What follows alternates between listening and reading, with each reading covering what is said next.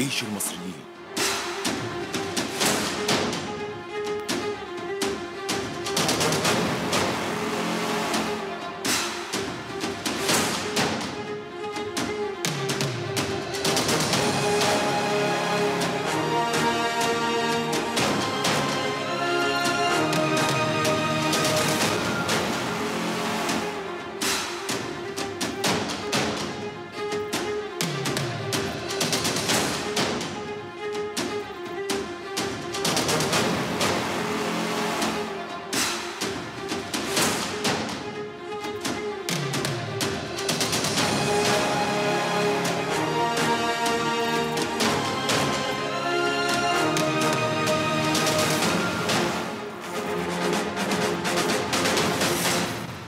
بجيشك وشعبك. محفوظة يا مصر.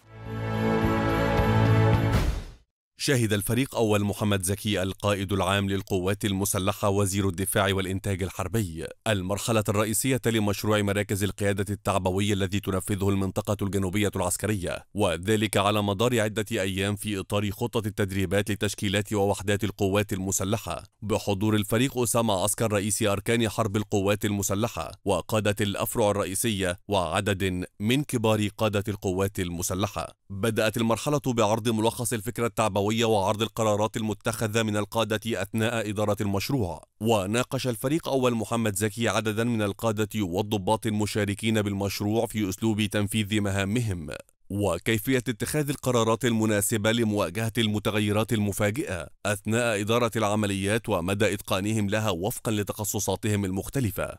وفي سياق متصل التقى الفريق أول محمد زكي القائد العام للقوات المسلحة وزير الدفاع والإنتاج الحربي عددا من مقاتلي المنطقة الجنوبية العسكرية حيث نقل لهم تحيات وتقدير السيد الرئيس عبد الفتاح السيسي رئيس الجمهورية القائد الأعلى للقوات المسلحة واعتزازه بالجهد الذي يبذله رجال المنطقة الجنوبية العسكرية لحماية الاتجاه الاستراتيجي الجنوبي للدولة مؤكدا حرص القيادة العامة للقوات المسلحة على الارتقاء بمنظومة الكفاءة القتالية والاستعداد القتالي للوحدات والتشكيلات.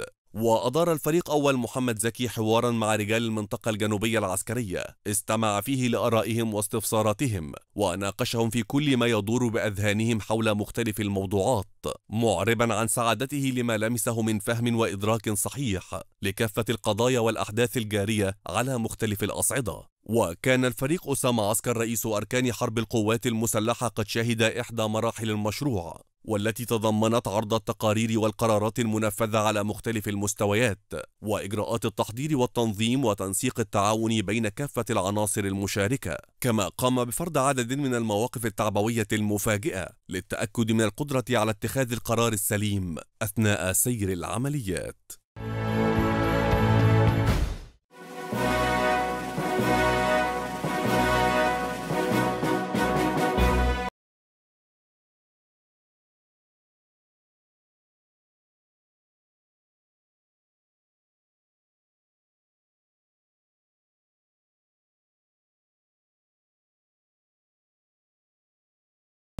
المقبولين بالكليات العسكرية لهذا العام من الدفعة 120 حربية وما يعادلها من الكليات العسكرية وذلك بعد اجتيازهم كافة الاختبارات المؤهلة لانضمامهم لصفوف القوات المسلحة. تضمنت مراسم الاستقبال استعراض حرس الشرف ثم عرضا للموسيقات العسكرية.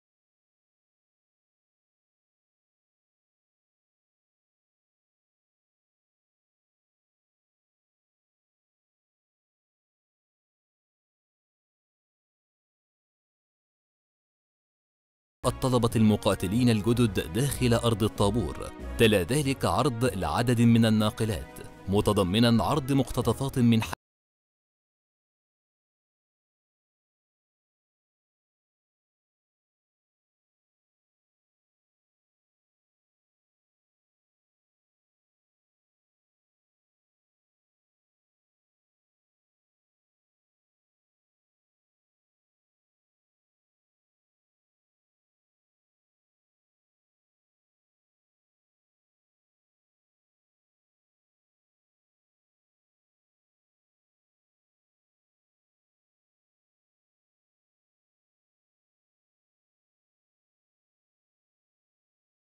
انضمامهم بالقوات المسلحة وألقى الفريق أشرف سالم زاهر مدير الأكاديمية العسكرية المصرية كلمة رحب خلالها بالطلبة الجدد ونقل لهم تهنئة الفريق أول محمد زكي القائد العام للقوات المسلحة وزير الدفاع والإنتاج الحربي والفريق أسامة عسكر رئيس أركان حرب القوات المسلحة على انضمامهم للقوات المسلحة مؤكدا أنهم الصفوة التي وقع عليهم الاختيار من بين المتقدمين. لنيل شرف الانضمام إلى العسكرية المصرية.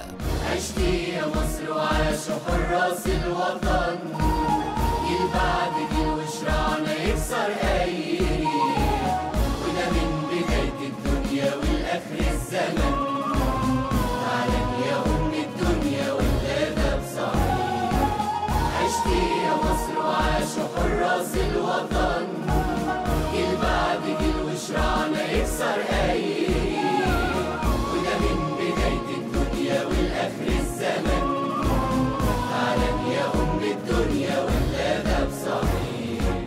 وأعرب أهالي الطلبة المستجدين خلال حفل الاستقبال عن سعادتهم الغامرة لانضمام ذويهم للقوات المسلحة مؤكدين أنهم لن يبخلوا على وطنهم بأي من أبنائهم لتبقى رايات مصر عالية خفاقة في عنان السماء.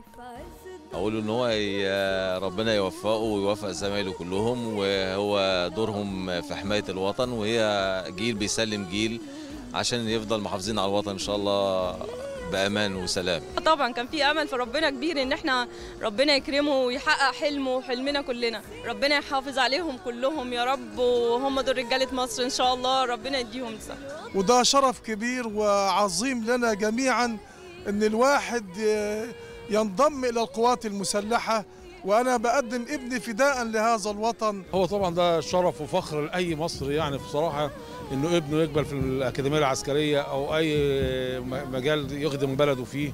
فالحمد لله رب العالمين كانت يعني فعلا يعني فرحة جامدة قوي للأسرة كلها. ربنا كرمنا وخدنا فرص بمصداقية وفرص جميلة جدا إن هي متاحة ومن غير أي وساطة ومن غير أي حاجة بدراعهم ربنا يكرمك إن شاء الله يا رب عشان أنت تعبت جامد جدا وهتبقى ظابط قد الدنيا. هو بالاول كان طموحه إن هو يخش كلية حربية من وهو لسه في الابتدائيه طالع في دماغه إن أنا أطلع عايز أبقى ظابط في القوات المسلحة لحد ما ربنا كرمنا وبدأنا نمشي في الإجراءات وربنا كرم وربنا وفقه والحمد لله رب العالمين. فخر لينا كلنا أنت أنت فخر لبلدنا. لما جات له رسالة بصراحة كان شعور آه، يعني مش عارف أوصفه لحضرتك والله. في منتهى السعادة في أكنه يوم عيد. أيوه طبعا هو كان بيتمنى و... وكان شغال على نفسه حبيبي والحمد لله. أنا مبسوطة إن ربنا حقق له أمنيته. حبيبي ربنا يوفقك وتبقى أحسن ما بتتمنى كمان وأحسن ما بنتمنى له. طبعا دموع الفرح بتمنى ربنا يوفقه. بقول له ألف مبروك وربنا سبحانه وتعالى يكلم تعبك بالنجاح وربنا يسدد خطاك وأنت دخلت مؤسسة قوية بيشهد بها العالم كله. وأسأل الله سبحانه وتعالى أن يديم النصر والعزة للجيش المصري.